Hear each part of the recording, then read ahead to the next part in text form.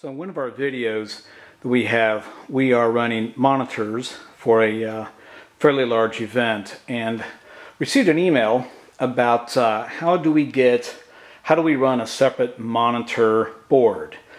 Because uh, mostly when uh, you're doing a show, monitors are run from front of house using the aux-sends. Well, sometimes there's a need to have uh, separate monitor board. It just makes it a lot easier to run monitors, especially if you got a lot of stage changeouts, if you have a lot of instruments. So it's just easier to have monitors up there at the stage uh, where the stage manager can work with the bands, figure out what they need, and get all, get all their monitors set up while front house is working on maybe changing uh, levels or changing some patching to, um, to support the next act. So monitors, it's uh, relatively simple to do a separate monitor board. And uh, the, how we use it, uh, I mean, pardon me, but how we run monitors is through a separate uh, monitor snake. And uh, if you notice there, the, the snake on the left uh, is a little bit different than the one on the right. The snake on the left supports um, both monitors and uh, front of house. So the left the left feed coming out of here runs to uh, front of house and this feed here runs to a separate monitor board. And if you notice the difference here, these are all inputs on the monitor board, um, pardon me, on the monitor snake. And compared to the regular front of house snake, we've got uh, inputs plus we have eight returns. Over here, there are no returns. So basically, what we're going to do is uh, we're going to use a channel here um, as an example. But let's say we have uh, something coming in on uh, channel 1. So we're just going to take our uh, cable here. Let's say it's coming in. Okay, so we've got something here on channel 1. And what's going to happen is that signal is going to be fed down both of these both of these trunks. One going to front house, one going to monitors. Now for the signal that's going to the monitors, uh, this would this would be taken out to um, a bunch of pigtails, just like a regular snake, and they plug directly into the monitor board. Now for this one, it's a little bit different. Okay, so the only thing that makes it a little bit different is the trunking here. It's got it's also its own set of pigtails.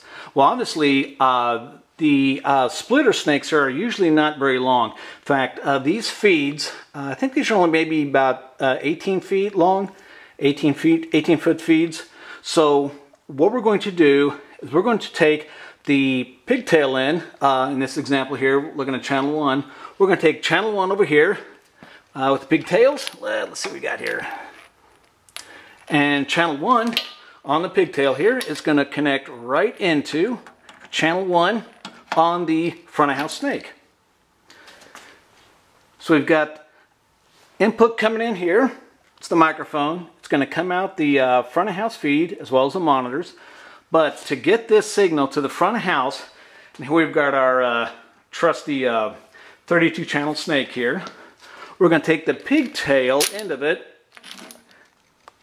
This, uh, these sets of pigtails belong to this board here.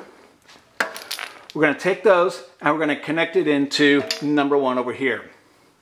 Then what happens is that the signal then, just like a regular snake, and obviously I've got the uh, pigtail bag on, but the pigtails um, are going to go uh, connect into the front of house board, just like it normally would. And that also includes returns. So then for returns, what we're going to do, there we go. So let's just say in this example here, we've just got one return coming back for uh, maybe one full, full range. So we're going still going to use our main front of house snake for our return. And we plug it into the return like we normally would. Because obviously over here on the uh, splitter snake, there are no returns. All this splitter snake does is take the signal and split it for us. To send the signal to the front of house, send the signal to monitor, I mean, pardon me, monitors and for front of house. And then it just ties in directly, here are the pigtails for the rest of them, but it ties in uh, directly with our regular front house snake. And that's all there is to it.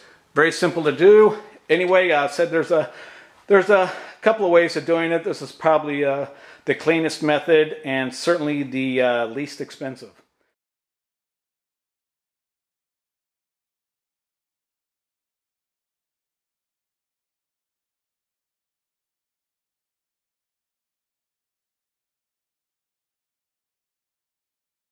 So anyway, good luck and we'll talk to you later.